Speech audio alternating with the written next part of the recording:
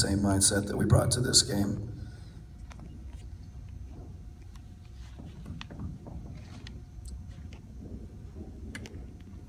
So Tony, Moore Sports Wire Magazine, speaking of those mistakes, what would you say some of the biggest ones were? Well, it's interesting.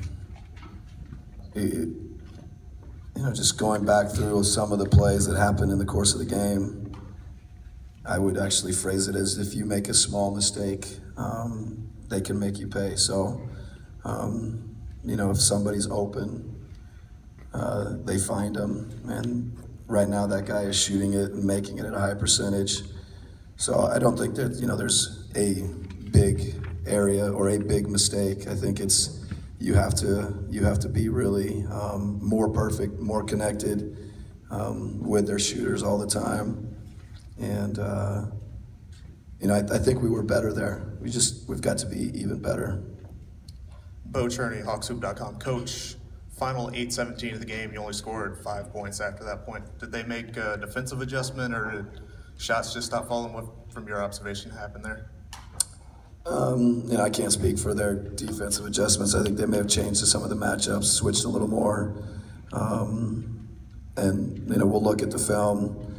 You know, there's a few plays or a few, um, I think, opportunities that we feel good about. And uh, that just, um, you know, we got to score better. We got to execute better uh, down the stretch. Chris Parker, Cleveland Scene. Coach, it seemed like you had some success uh, hedging and uh, blitzing the uh, pick and roll, um, but it didn't seem like that happened as much in the fourth. Was that an adjustment on their part, or was it just execution?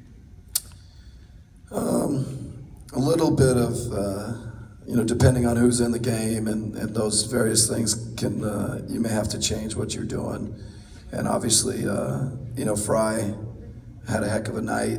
Um, they played Frye and Love together some, um, or a lot in the fourth quarter. So, um, you know, and, and, maybe we, we, we could have or should have stayed uh, more aggressive, but um, you know, they had an awful lot of shooting on the court uh, for the most of the fourth quarter.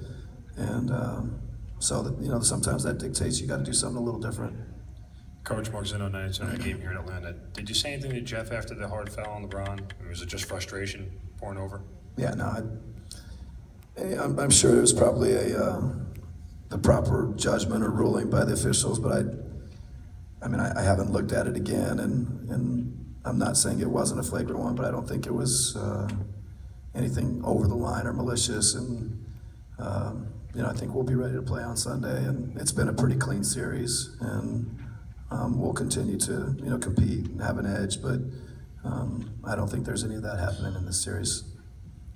Uh, Brad Rowland for Peachtree Hoops. Uh, obviously, made some lineup changes, um, some rotation changes. Went with Kris Humphries, changed the starting lineup. Is that something that you, that you uh, want to stay with moving forward? And how did you feel that those things worked? Obviously, had some success early on in the game.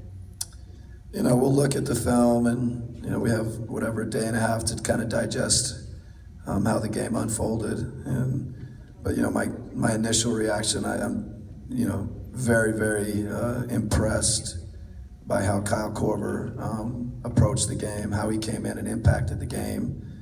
I, I think it's the first time he's come off the bench since you know I've been here in Atlanta, and uh, it's just it speaks to his character, uh, speaks to the person that he is to understand the best thing. You know, we felt the best thing for our team was to bring him off the bench. Maybe he could give us a lift, and just uh, like I can't say enough about what a great teammate he is to do that and have the approach he had. And then Humphries was obviously great too. Um, and I think he, uh, he, actually played so much in the first half. Uh, you know, towards the end, it looked like he was, you know, he probably needed a break. Um, but I thought both those guys uh, were very good. I thought the whole, you know, the group on the whole was good. I, I don't think it's as much about the adjustments or changes. It's just, you know, the, the group had a good mindset.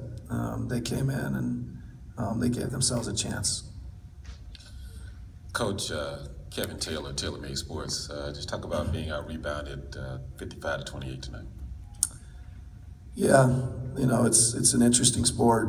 Um, at halftime, I think we'd been out rebounded by 16. Uh, if anybody's got the halftime stat sheet, I think it was 30 to 14 at halftime, and we were up eight.